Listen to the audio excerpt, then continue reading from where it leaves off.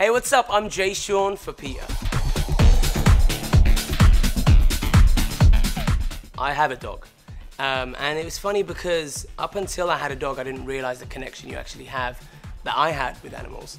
Um, and then you, you know, you take on a dog and it, it's like a member of your family. And you realize that just because they're animals, you can't treat them any less than you would a human being. And I think unfortunately a lot of people do. There's always a kid who wants to get a puppy or, or get a little kitten and they might not know that they can actually go to a shelter to get that. The parents might not know they can go to a shelter to adopt one rather than going to a store to buy one because they're just as cute, and they're looking for a home, they want love too, you know what I mean? You know that they've had their vaccinations and you know been neutered and stuff like that, so they go through all those checks before you even get them. But once you have that animal, it's a responsibility. It needs someone to care for them.